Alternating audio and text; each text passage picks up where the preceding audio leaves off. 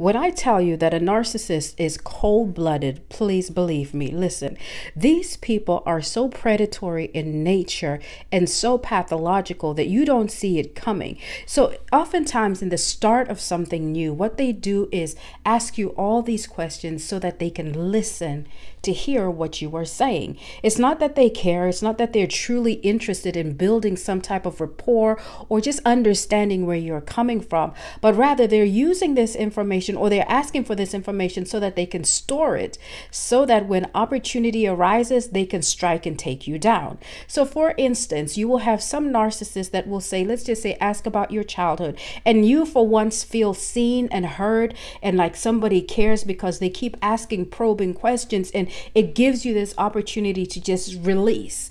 And for many people who have had, you know, childhood trauma and, you know, difficult family relationships, you thrive in this moment because you feel like I'm being seen and I'm being heard. You're being set up because what they want to know is your deepest and your darkest secrets. They want to know what pains you the most, and that is exactly what they are going to use against you. So you will find, right, you can open up, for example, talking about a difficult relationship you had with your sibling.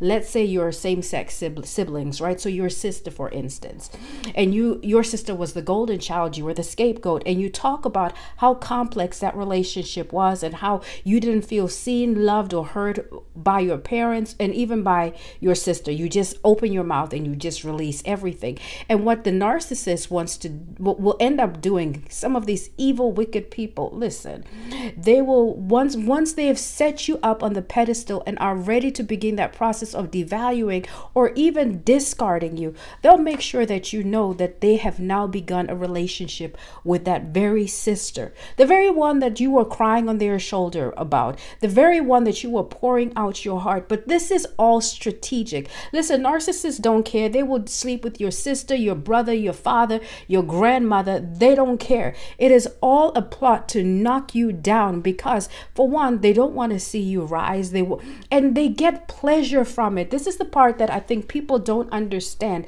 that yes, there is such wickedness, that there is such evil out there, that it's intentional. It was strategic from the get go. The whole purpose was to bring you pain. The whole purpose was to knock you down a couple inches because who do you think you are? And so they find people and they find opportunities that will give them, you know, the momentum to do such things because it props them up. Listen, they're evil and there just is no explaining evil. Evil does what is evil. Govern yourself accordingly.